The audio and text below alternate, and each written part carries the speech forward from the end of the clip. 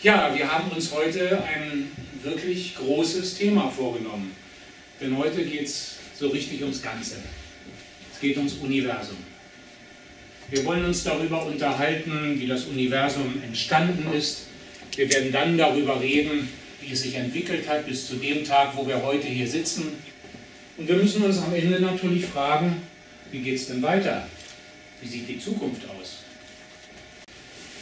Und eins kann ich Ihnen sagen, die Wissenschaft vom Kosmos, die Kosmologie, die hat in den letzten 10, 20 Jahren dramatische Fortschritte gemacht. Viele von Ihnen mögen sich erinnern an den Nobelpreis für Physik aus diesem Jahr. Der wurde nämlich vergeben an drei Physiker, die die äh, Gravitationswellen erstmalig nachgewiesen haben. Aber ein Physik-Nobelpreis, der vielleicht für, unser, für unseren heutigen Abend und für unser heutiges Thema noch wichtiger ist, das ist ein Nobelpreis, der wurde vor gut zehn Jahren an zwei Physiker vergeben, die den sogenannten Nachhall des Urknalls vermessen haben. Das kosmische Mikrowellen-Hintergrundrauschen, wie die Physiker sagen. Liebe Zuhörer, dieser Nachhall des Urknalls wurde ein Wimpernschlag nach dem Urknall ausgesandt, ist seitdem im Universum unterwegs und wir können ihn heute messen. Und zwar wurden inzwischen drei Generationen von Satelliten hochgeschossen, natürlich im Abstand, weil jeder Satellit war wieder genauer als die Generation vorher. Drei Generationen Satelliten, die dieses Mikrowellen-Hintergrundrauschen, diese Mikrowellen-Hintergrundstrahlung sehr genau vermessen haben. Und das Entscheidende ist, über diese genauen Vermessungen, deswegen wurde der Nobelpreis vergeben vor zehn Jahren, über diese genauen Messungen wissen wir erstens recht gut, dass das Universum mit einem gigantischen Big Bang, mit einem Urknall begonnen haben muss. Und noch viel interessanter, wir wissen inzwischen, wann das war. Das war vor 13,8 Milliarden Jahren liebe Zuhörer, 13,8 Milliarden Jahre ist es her, als der Tag ohne gestern war, als die Zeit auch entstanden ist, als das Universum entstanden ist. Wir werden gleich darüber reden. So, und jetzt wollen wir uns mal fragen, was ist denn jetzt überhaupt an Strukturen entstanden? Jetzt haben wir ja so die Bausteine gebaut, wir wissen, welchen, welchen Mörtel man genommen hat. Jetzt müssen wir mal fragen, welche Strukturen gibt es? Ich kann nicht so gut schreiben an der Tafel, deswegen habe ich das einfach mal vorbereitet. Ich habe hier nämlich mal dargestellt, welche sind denn die großen kosmischen Strukturen, mit denen wir, denen wir begegnen, wenn wir durchs Universum reisen. Und das werden wir ja gleich machen. Da fangen wir natürlich bei uns auf der Erde an. Wir, unsere Erde, das ist ein Planet. Und wir wissen, der Planet Erde, der dreht sich um die Sonne. Und die Sonne ist ein ganz normaler Stern. Mittlere Größe, mittleres Alter, ich habe ja auch schon mal von Alterung von Sternen gesprochen. Die Sonne ist ein Stern. Also, wir sind ein Planet, der um die Sonne kreist und außer uns kreisen noch sieben andere Planeten um die Sonne. Das ist also das erste Sterne gleich Sonnen mit ihren Planeten. Da gibt es ja noch Monde, also einer unserer großen Planeten, der Jupiter, der hat 60 Monde. Glauben Sie nicht, ein Mond ist was Besonderes. Also die gibt es natürlich auch noch. Ne? So, und jetzt haben wir ja viel über die Schwerkraft gesprochen. Und weil die anzieht, weil die uns hier alle so schön auf dem Boden hält, zieht die natürlich auch Sterne an. Das heißt, auch die Sterne, die klumpen sehr leicht zusammen. Die bilden Klumpen und drehen sich dann aber umeinander, damit sie nicht alle ineinander fallen. Die drehen sich, bilden aber solche Klumpen. Und diese Klumpen, Sternklumpen, sind Galaxien. Ja, und das geht nun so weiter, das kann man sich denken. Das war ja alles ganz systematisch, was wir bisher gemacht haben. Die Galaxien klumpen auch wieder zusammen in wie Galaxienhaufen. Und dann kann man vielleicht noch fragen, wie ist denn das angeordnet im Universum? Großräumig ist das Universum ziemlich gleich in allen Richtungen und trotzdem hat es so eine innere Struktur. Diese ganzen Galaxien und Galaxienhaufen sind nämlich so ein bisschen angeordnet wie Bienenwaben. Das heißt, die bilden sozusagen die Kanten oder die Wände von Bienenwaben. So sind die angeordnet, wenn man sich das anschaut. Da drinnen in den Waben sind riesige Leerräume. Die Engländer sagen dazu Voids. Also das hätte ich hier nur hinschreiben können. Riesige Leerräume gibt es auch. Und, und außenrum, wabenförmig, bilden sich Galaxien und Galaxienhaufen. Das, ist die große, das sind die großen Strukturelemente des Universums. Jetzt werden sich aber doch manche von Ihnen fragen, woher wissen wir denn das eigentlich alles? Woher wissen wir denn, was da hinten, ganz hinten am Ende des Universums los ist? Liebe Zuhörer, wir haben unsere Teleskope. Seit Galilei haben wir die Fernrohre entwickelt. Und heute haben wir nicht nur Fernrohre und Teleskope, Riesenteleskope auf der Erde, sondern die schicken sie auch in den Himmel und haben dort ein Teleskop, was also sagenhafte Erkenntnisse gebracht hat, nämlich das Hubble-Teleskop. Viele von Ihnen werden davon schon mal gehört haben. Liebe Zuhörer, das Licht, das weiteste Licht, die weitest entfernte Galaxie, die das Hubble-Teleskop heute nachweisen kann, dieses Licht war auf seiner Reise 13 Milliarden Jahre. 13 Milliarden Jahre war das Licht unterwegs, um zu uns zu kommen. Und natürlich können wir auch Sterne sehen, die vor 5 Milliarden Jahren oder sonst was da sein. Das heißt aber, wenn das Licht so lange braucht, was gucken wir? Wir gucken nicht nur in ganz, ganz ferne Welten, sondern wir gucken auch in die Vergangenheit hinein. Wenn also das Licht, also sozusagen die E-Mail des Universums, 13 Milliarden Jahre gebraucht hat, um bei uns da einen Computer klug zu machen, ja, dann wurde sie eben vor 13 Milliarden Jahren abgeschickt. Das ist doch einfach. Das heißt, wir schauen in der Zeit um 13 Milliarden Jahre in die Vergangenheit, maximal. Dazwischen natürlich auch alle Möglichkeiten. Ja, jetzt habe ich Ihnen aber doch vorhin das Alter des Universums gesagt, sogar zweimal, damit Sie sich das merken. Vielleicht muss ich es noch irgendwo hinschreiben. Es war 13,8 Milliarden Jahre.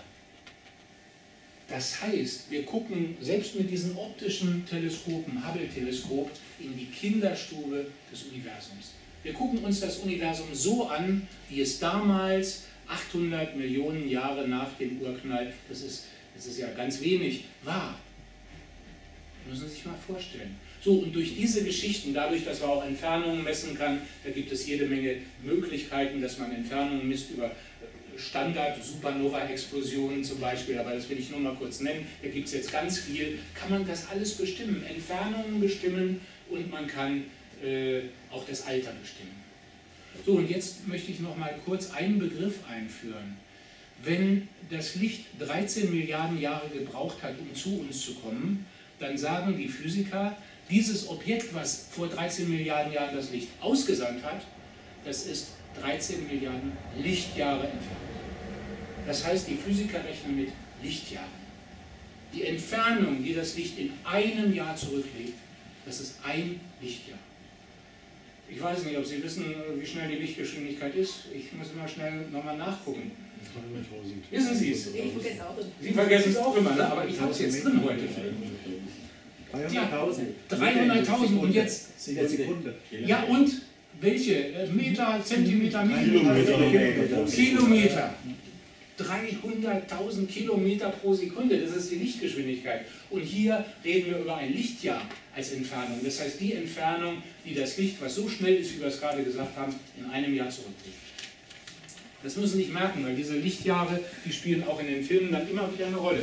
Vielleicht noch ein ganz kleines Beispiel, wir sind hier nicht in der Schule, aber jetzt fragen wir mal, ja, wie weit ist denn die Sonne in diesem Maß von, äh, von uns entfernt? Acht Minuten. So ist es.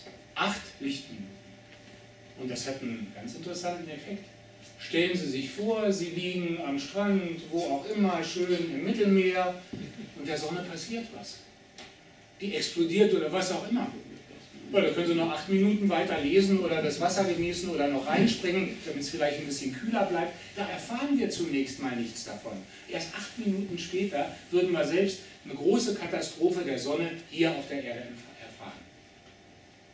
Mach ich mal klar den weitesten Stern, den wir so am Sternenhimmel sehen, die weitesten entfernten Sterne, 1000 Lichtjahre. Das heißt, wir gucken einfach so mit den Augen 1000 Jahre in die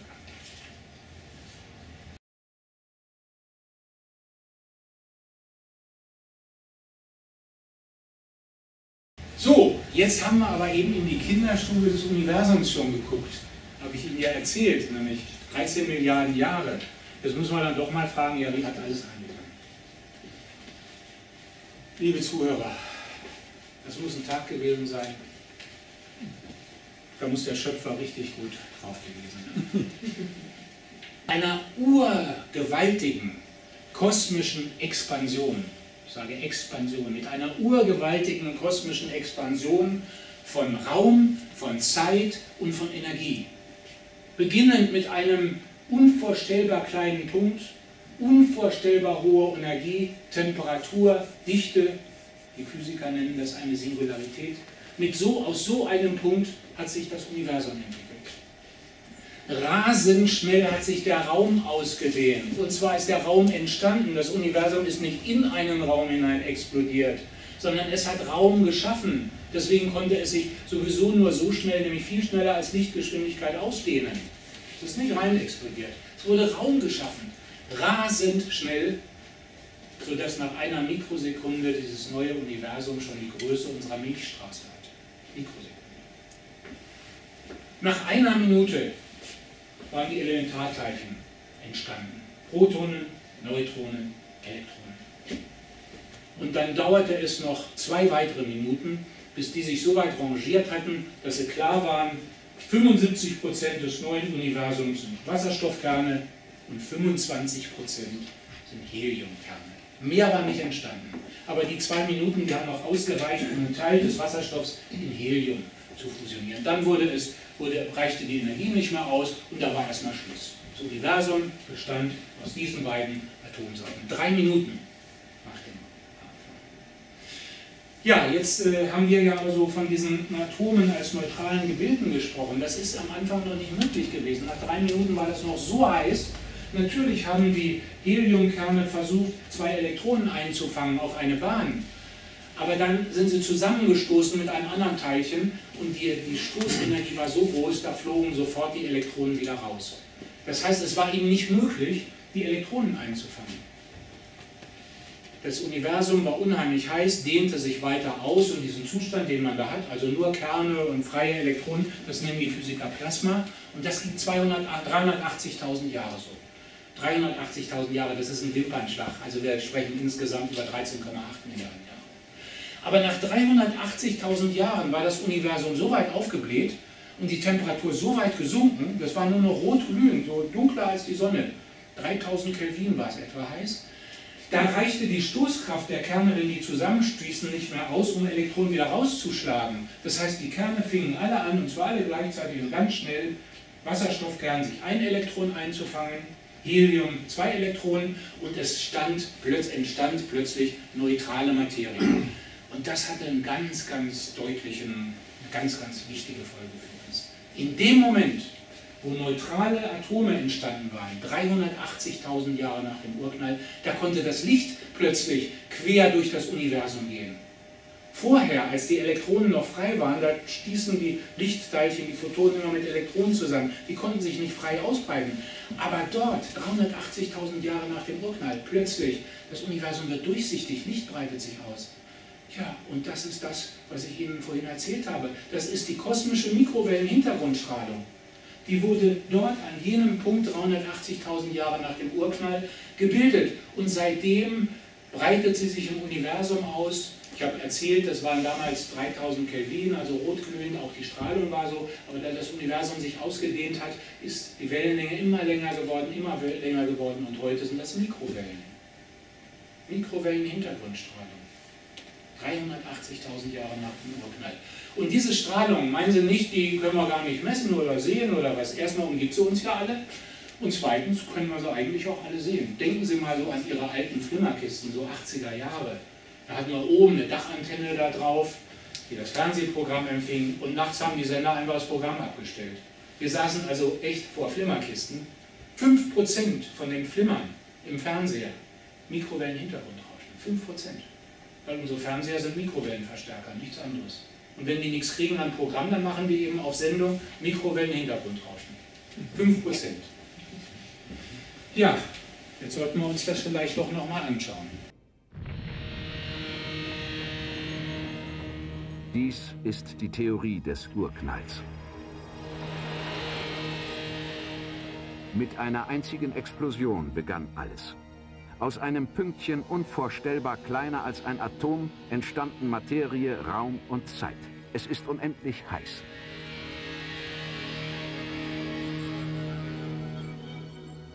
In der ersten Mikrosekunde expandiert das Universum bis zur Größe einer Galaxis.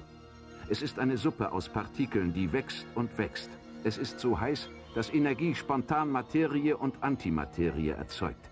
Sie vernichten sich gegenseitig und das Spiel beginnt von neuem.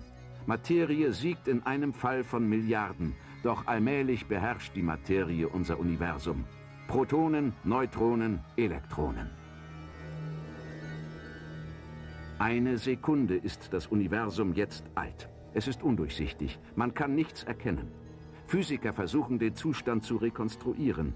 In dieser expandierenden Suppe brodeln die subatomaren Teilchen. Die ersten Atome entstehen. Drei Minuten nach dem Urknall bilden sich die ersten chemischen Elemente. Kohlenstoff, Helium und Spuren von Lithium. Für 300.000 Jahre ist der Kosmos ähnlich einem kochenden Dampfkessel.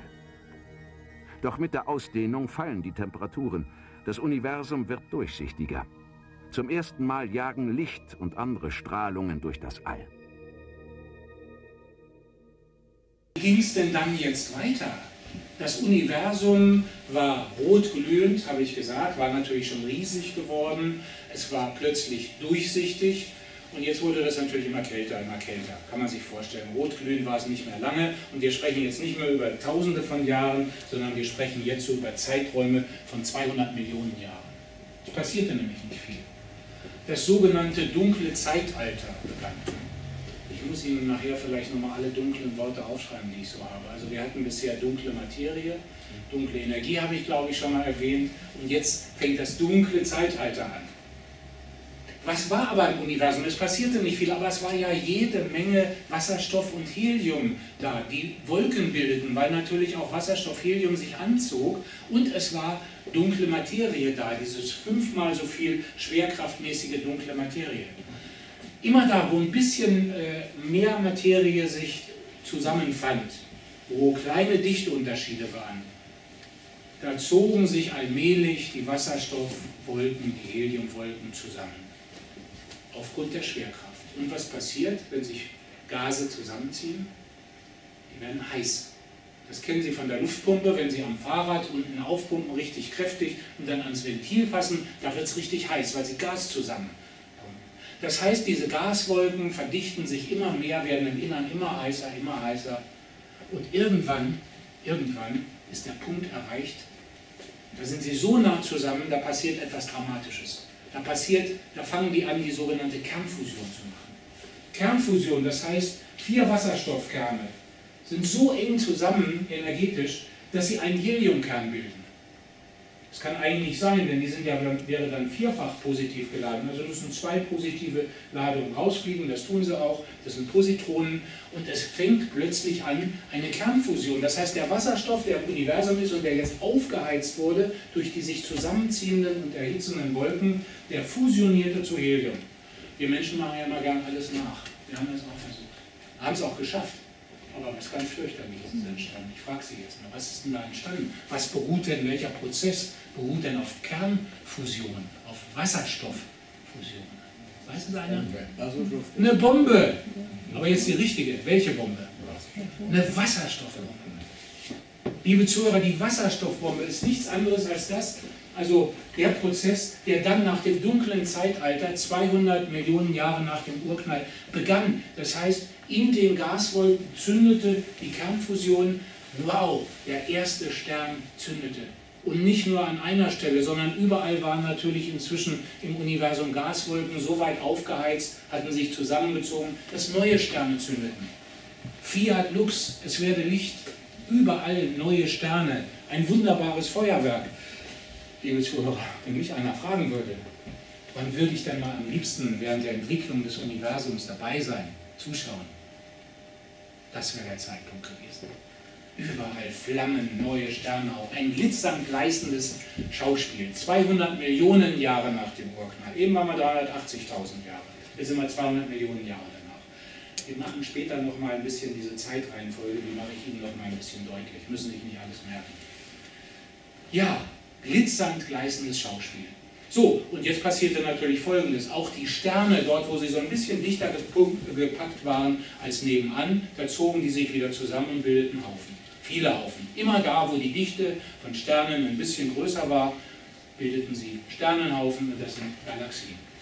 Selbstverständlich. Die Schwerkraft zieht immer da zusammen, wo ein bisschen mehr Materie ist. Ne? Und die Sterne sind natürlich nicht gleich verteilt im Universum. Manche sind ein bisschen näher, manche ein bisschen, andere Gruppe ist ein bisschen entfernter. Und da ziehen sich immer die zusammen, die jeweils am nächsten sind. Ja, Galaxien bilden sich. So, und auch unsere Heimatgalaxie, die Milchstraße, hat sich 300 Millionen Jahre nach dem Urknall gebildet. Das wissen wir heute. So alte Sterne gibt es in der Heimatgalaxie. Das war natürlich noch nicht die Milchstraße von heute, das war der Vorläufer, aber auch wir, unsere große Heimat, unsere Milchstraße ist zu der Zeit entstanden. Das gucken wir uns jetzt mal an.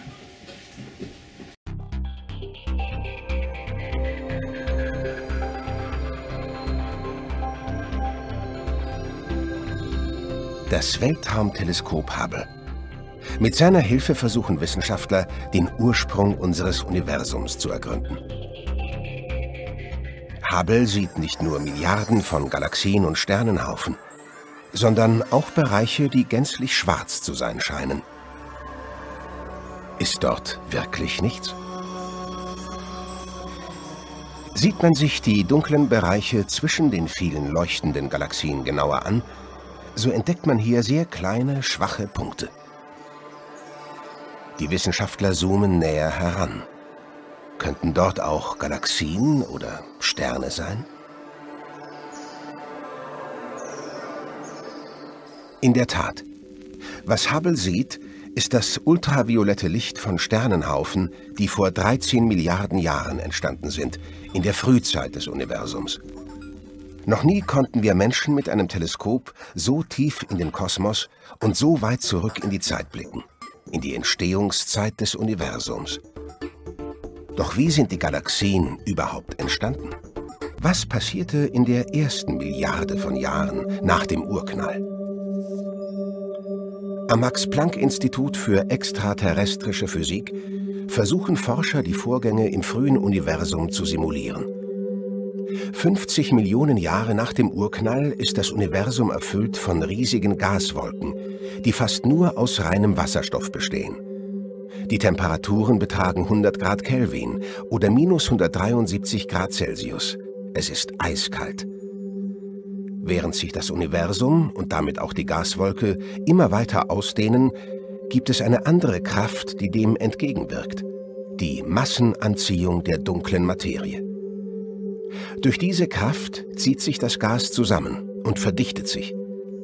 Kleine Unregelmäßigkeiten in der Verteilung der Materie haben dabei eine große Wirkung. An diesen Stellen ballt sich die Materie besonders stark zusammen. Es bilden sich Klumpen, die weißen und gelben Punkte in der Simulation, aus denen im Laufe von Millionen Jahren die ersten Sterne entstehen. Das Wasserstoffgas wird über 10.000 Kelvin heiß. Die Ursache dieser plötzlichen Hitzewallung liegt in der Sternentstehung. Denn die Klumpen aus Wasserstoffgas verdichten sich durch die zunehmenden Gravitationskräfte und heizen sich auf. Wächst die Hitze auf einige Millionen Kelvin an, zündet im Inneren des werdenden Sterns ein Feuer, die Kernfusion. Aus Wasserstoffatomen entsteht in mehreren Schritten ein neues Element, Helium. So bilden sich aus Gaswolken die ersten Sterne und aus den Sternen langsam Galaxien. Dieser Vorgang dauert Jahrmillionen. Jeder der gelben Punkte entspricht dabei einem Sternenhaufen, der über tausendmal so schwer ist wie unsere Sonne. Die Haufen sind umgeben von unterschiedlich heißen Gaswolken, hier in verschiedenen Farben dargestellt. In diesen Babygalaxien entstehen durch die Explosion massereicher Sterne nicht nur Helium, sondern auch schwerere Elemente wie Nickel oder Eisen. Das Stichwort schon gehört. Schwerere Elemente entstehen ganz allmählich durch die Explosion dieser großen Sterne, die an ihr Lebensende kommen. Das Universum entwickelt sich weiter, heute ein Prozent schwererer Elemente. Und für uns passierte nichts Dramatisches dann. Also nahezu 9 Milliarden Jahre passierte nichts Dramatisches. Dann wurde es aber für uns wieder wichtig. Dann plötzlich zog sich in einer eigentlich ruhigen Zone der Milchstraße, in einer der Spiralarme, so ein bisschen dazwischen, wo nicht viel los war, Da zog sich eine Gaswolke allmählich zusammen, wurde immer heißer, wir haben das ja gesehen. Irgendwann zündete diese Kernfusion, ein Stern zündete, das war unsere Sonne. Und gleichzeitig war natürlich, wir sind jetzt vor 4,5 Milliarden Jahren, wir sind 9 Milliarden Jahre nach dem Urknall, Gleichzeitig war natürlich um die Sonne herum noch viel weitere Materie da. Und das war jetzt nicht nur Wasserstoff und Helium, sondern da war jetzt natürlich schon höhere Elemente entstanden, da war Staub entstanden. Und überall da, wo um diese neu entstandene Sonne herum Staubwolken etwas dichter waren, zogen sie sich auch wieder zusammen. Und was bildete sich sozusagen gleichzeitig mit der Sonne? Es bildeten sich Planeten. Bei unserer Sonne acht Planeten. Immer da, wo Materie ein bisschen dicker ist, da bildet sich was. Acht Planeten. Und das Besondere ist natürlich, da hat sich dann ein Planet gebildet, das ist der dritte von der Sonne aus gesehen. Der hatte plötzlich eine Temperatur, das Wasser flüssig war. Er hatte eine Temperatur, die gerade so zwischen 0 und 100 Grad war. Unsere Erde, flüssiges Wasser. Alle anderen Sterne sind entweder zu heiß oder sie sind zu weit weg und zu kalt da friert das Wasser, da passiert nicht viel, aber flüssiges Wasser, das ist die Grundvoraussetzung für Leben. Vor 4,5 Milliarden Jahren ist das Sonnensystem entstanden und es hat nur gute 500 Millionen Jahre noch gedauert. Da waren die aller, allerersten Lebensspuren auf der Erde vorhanden. Erstes, ganz einfaches Leben, ganz einfache Zellen. Und dann entwickelten sich diese Einzeller wieder über Jahrmilliarden, bis etwas ganz äh, Dramatisches wieder passierte für uns. Zellen taten sich zusammen, sagten, Mensch, zusammen lebt sich doch viel besser, als wenn ich als Einzeller da unterwegs bin. Es bildeten sich Vielzeller und vor 500 Millionen Jahren, da waren sogar die ersten komplexen Vielzeller Wirbeltiere entstanden. Wirbeltiere, also Tiere, die hier so eine schöne Wirbelsäule haben. Die Fische. Es geschah alles im Wasser. Vor 500 Millionen Jahren. Die ersten Wirbeltiere. Vor 400 Millionen Jahren kamen die Tiere auf die Idee, warum müssen wir eigentlich hier im Wasser unsere Nahrung suchen? Vielleicht gibt es auf dem Land ja auch was zu entdecken. Und dann hat allmählich das Leben das Land erobert. Merken sich nicht die Zahlen, aber so als Größenordnung. Vor 200 Millionen Jahren waren plötzlich Lebewesen entstanden, die hatten was Tolles entdeckt. Die legten nämlich keine Eier mehr, wie alle bisherigen Lebewesen, sondern die ließen ihren Nachwuchs im Bauch groß werden, mussten sie dann säugen. Es waren die ersten Säugetiere entstanden, vor 200 Millionen Jahren.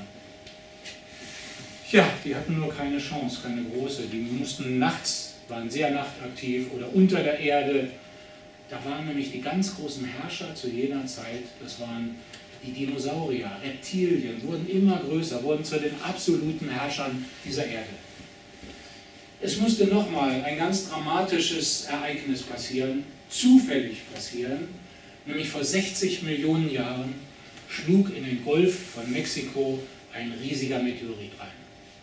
Dieser Meteorit, der war so mächtig, es wurde so viel Staub, so viel Gestein aus diesem Einschlag heraus in die Atmosphäre befördert, dass für Jahre, Jahrzehnte das Klima, die Atmosphäre dunkel wurde, der Himmel dunkel wurde, das Klima kalt wurde, keine Sonnenstrahlung oder nur noch wenige Sonnenstrahlung durchkam. Und das war natürlich dramatisch für die großen Dinosaurier. Die waren inzwischen so groß geworden, die mussten fast 24 Stunden fressen, zumindest die Vegetarier unter ihnen, damit sie das überhaupt noch bewältigen konnten, ihren Riesenkörper. Also das hat nicht lange gedauert, wenige 10.000 Jahre. Da waren die Dinosaurier ausgestorben. Liebe Zuhörer, wow. Das war der Startschuss für die Säugetiere. Fast 150 Millionen Jahre hatten sie schon dahin gefleucht, aber hatten nie so richtig Fuß auf die Erde bekommen. Nachts oder unter der Erde, klein geblieben, die Mäuse. Plötzlich schlug die Stunde der Säugetiere. Vor 60 Millionen Jahren. Und das ging dann rasant weiter. Vor sieben Millionen Jahren hatten die Schimpansen, das sind eigentlich unsere nächsten Verwandten, die Schimpansen. Vor sieben Millionen Jahren hatten die Schimpansen und wir den letzten Großvater den letzten gemeinsam, haben wir uns getrennt. Ja, die letzten ein bis zwei Millionen Jahre ist die Menschheit entstanden, so wie wir sie heute kennen.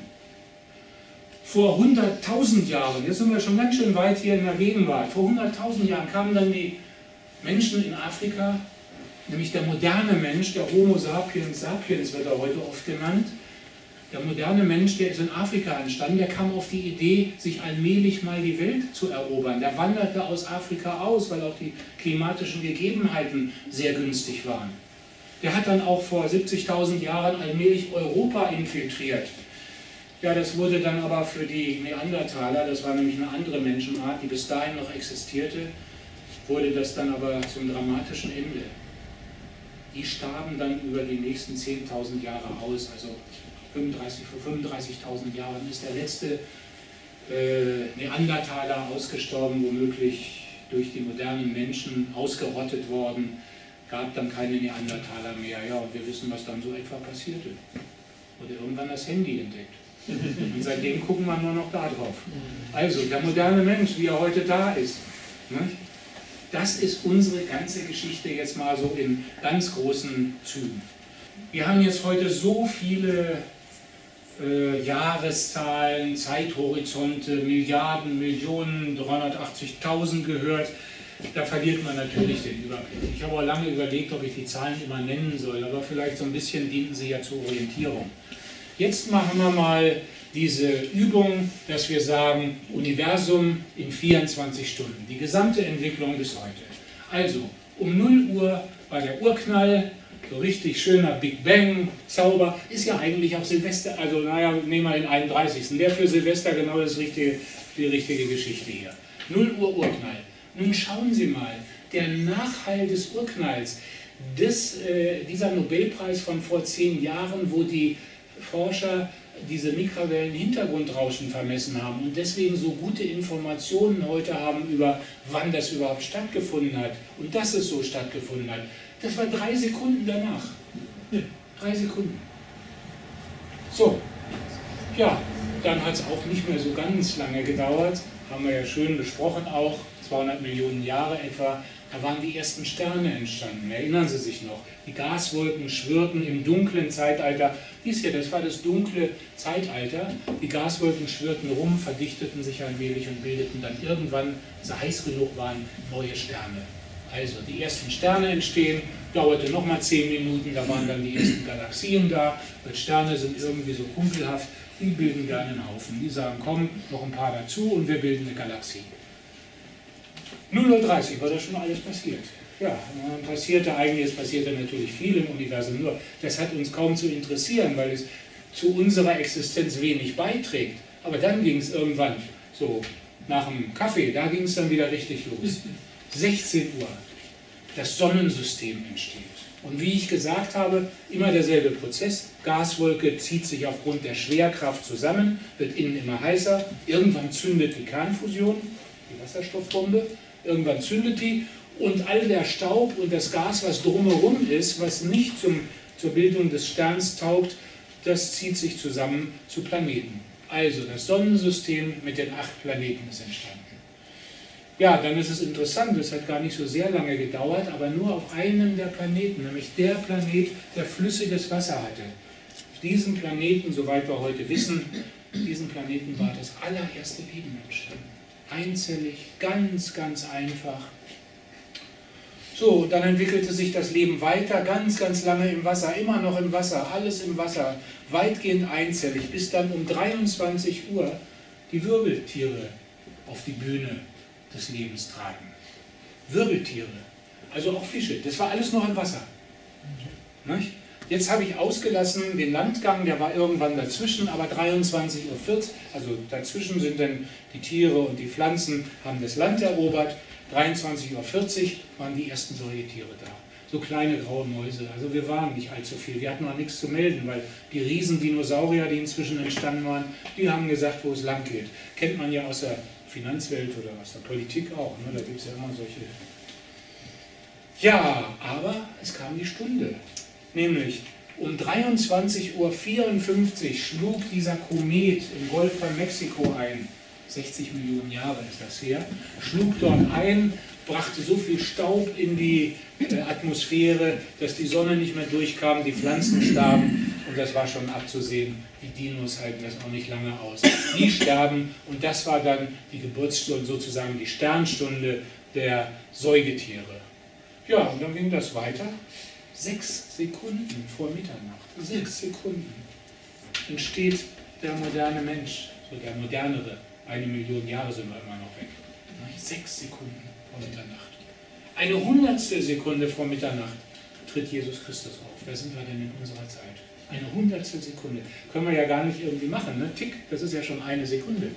Also eine Hundertstel kriegen wir nicht hin. Das wäre die Entwicklung des Universums, wenn sie in 24 Stunden stattgefunden hätte.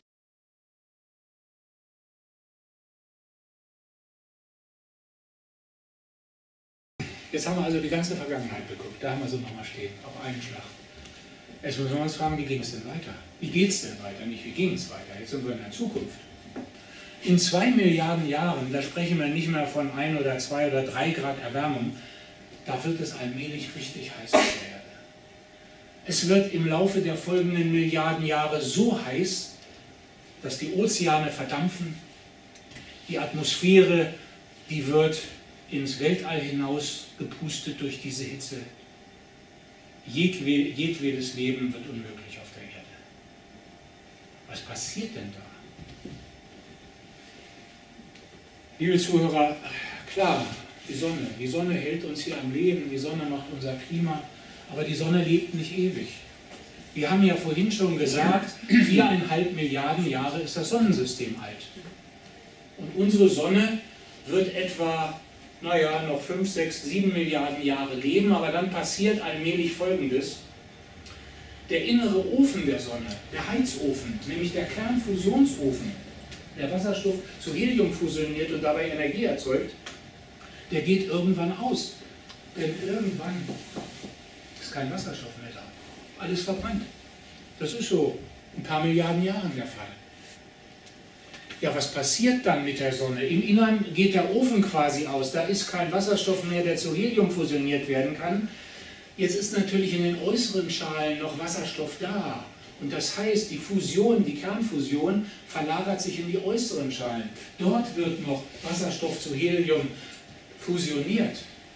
Das heißt, die Sonne heizt sich auf, die äußeren Schalen der Sonne, der äußere Bereich der Sonne wird immer heißer. Und wenn so ein Gasball, die Sonne ist ein Gasball, heiß wird, dann dehnt er sich aus. Der dehnt sich so weit aus, dass er zunächst den innersten Planeten, den Merkur, schluckt. Und dann dehnt er sich weiter aus und schluckt auch die Venus. So weit, so groß wird unsere Sonne.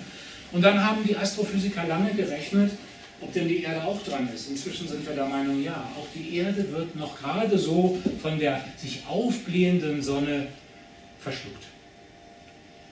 Und diese Riesensonne, die sich da, die da entsteht, durch das Schalenbrennen und durch das zur Neige gehen von Wasserstoff, das nennt man einen roten Riesen. Das heißt, unsere Sonne, die schöne Sonne, wird zu einem roten Riesen. Der Durchmesser ist hundertmal so groß wie die heutige Sonne. Auf hundertfache Größe wächst diese Sonne an.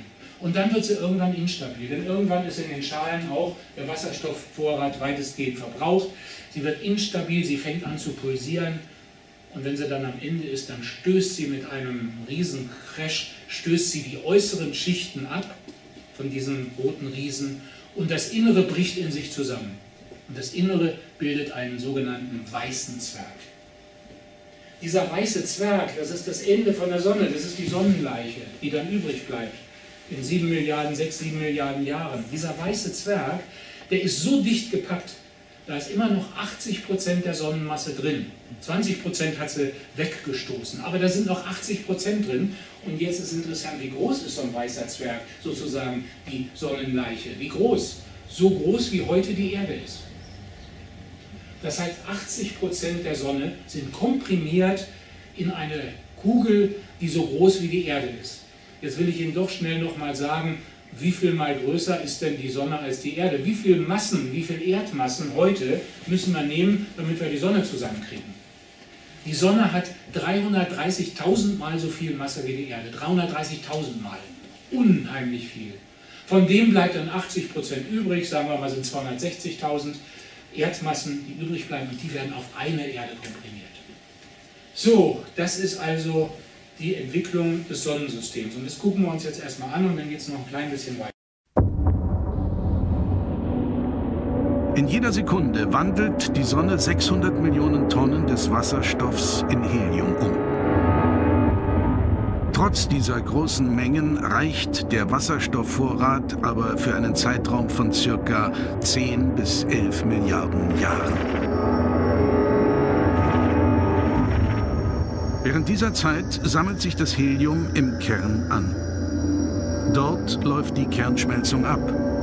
Dort sitzt das Kraftwerk, das die Sonne über den gesamten Zeitraum strahlen lässt.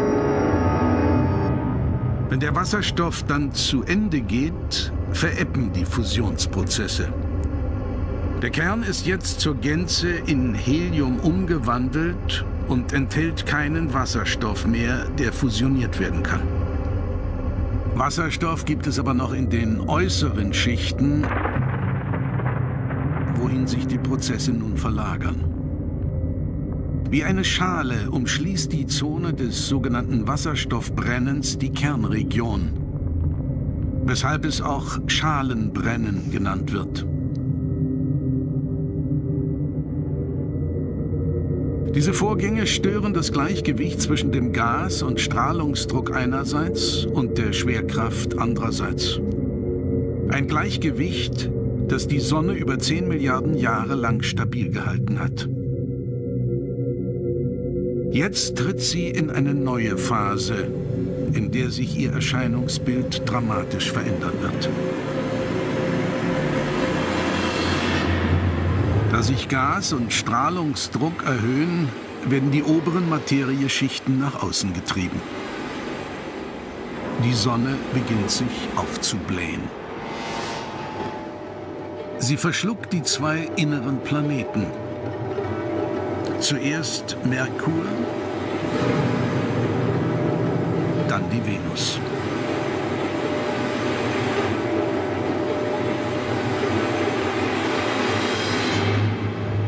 Sonne verändert ihre Farbe in ein tiefes Rot. Denn durch die Expansion kühlt die Temperatur an der Oberfläche um etwa 3000 Grad ab. Die Erde ist nun der nächste Planet. Sie wird den Wandel der Sonne ebenfalls nicht schadlos überstehen.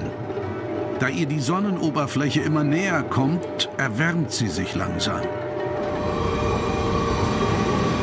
Ihre Atmosphäre verglüht ins All. Die Ozeane verdampfen. Jegliches Leben erlischt. Aus unserem blauen Planeten wird ein glühender Materieklumpen, aufgeheizt auf mehrere tausend Kelvin, heiß wie Lava.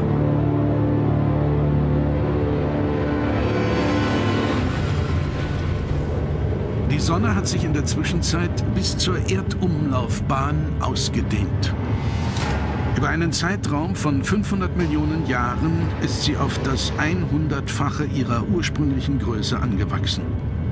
Aus einem durchschnittlich großen Himmelskörper ist ein Riesenstern geworden. Ein roter Riese. Was von unserem Heimatplaneten noch übrig ist, wird von den enormen Energien bald zur Gänze zerstört sein. Der rote Riese beginnt immer heftiger zu pulsieren.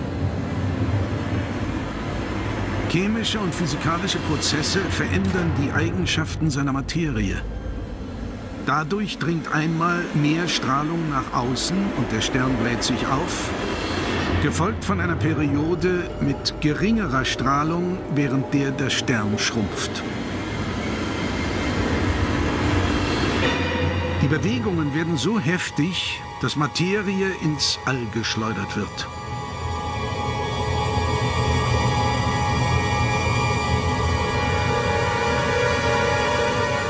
Hier das Bild eines Sterns in einer späteren Phase. Jede dieser konzentrischen Kreise ist in Wirklichkeit eine Schale, die durch seine Pulsbewegungen abgeworfen wurde und den Stern umhüllt. Dies geht mehrere Millionen Jahre lang, bis er in einer nächsten Phase äußeren Materieschichten durch einen noch heftigeren Sternenwind komplett abwirft. Übrig bleibt der Heliumkern. Sehr heiß und klein wie ein Planet. Seine Bezeichnung Weißer Zwerg. Dieser Stern hat die letzte Phase in seinem Lebenszyklus erreicht. Unsere Sonne wird diesen Wandel zum roten Riesen und danach zum weißen Zwerg nach heutiger Schätzung erst in etwa sieben Milliarden Jahren durchlaufen. Eine Entwicklung, die wir bei anderen Sternen schon heute beobachten können. Ja, das ist das Leben und das Sterben letztlich unserer Sonne. Und jetzt können Sie sich auch vorstellen, wie das weitergeht, denn allmählich wird ja im Universum der Wasserstoff knapp. Der wird ja überall verbraten. Ja, wie sieht es mit der Zukunft des Universums aus? Meistens kommt da die erste Frage so aus dem Publikum, wir sind heute so viele, deswegen haben wir gar nicht so ein bisschen Dialog, aber meistens kommt die erste Frage, wird sich das Universum denn immer weiter ausdehnen?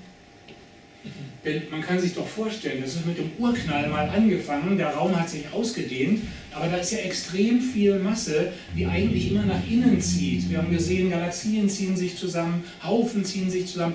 Eigentlich müssten die Massen sich ja nach innen ziehen und diese Ausdehnungsbewegung allmählich verlangsamen. Müsste also langsamer werden. Aber das ist nicht der Fall. Und das haben wir auch erst vor 15 Jahren festgestellt, als wir mal genau vermessen haben, wie die Ausdehnungsgeschwindigkeit des Universums am Rande sozusagen ist. Das Universum dehnt sich, äh, verlangsamt nicht seine Ausdehnung, sondern wir haben festgestellt, dass es sich sogar beschleunigt ausdehnt. Seit 5 Milliarden Jahren. Da musste erst mal Zeit vergehen. Da hat es sich zunächst mal verlangsamt aussehen und jetzt dehnt es sich beschleunigt aus. Und um das zu erklären, kommt jetzt nochmal so ein Ding, was ich dann nicht erklären kann. Da braucht man dunkle Energie um das zu erklären. Die dunkle Energie ist übrigens in Einsteins Formeln schon drin. Das ist die kosmologische Konstante. Die muss man da einfügen und dann kriegt man plötzlich ein Universum, was sich beschleunigt ausdehnt. Also in der Formel steht es drin. Aber fragen Sie mich nicht, was es ist.